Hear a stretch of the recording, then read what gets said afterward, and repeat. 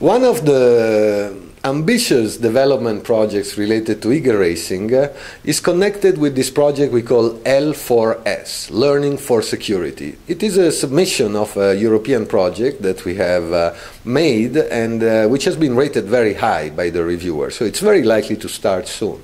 In this project, which has mainly to do with uh, crisis management and with security, we plan to adapt the EagleRacing scenario and the EagleRacing pedagogical model to address crisis management uh, situations, to help managers develop a better understanding on how to behave in situations where, yes, they have to collaborate, but they have to collaborate under a lot of time constraints, like in a crisis. They have very often to collaborate with people they are not used to collaborate with because many stakeholders come to the scene.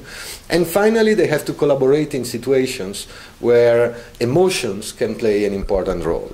So I believe we are going to see soon a new version of EagleRacing based on the concept of EagleRacing, which will address crisis management uh, and security.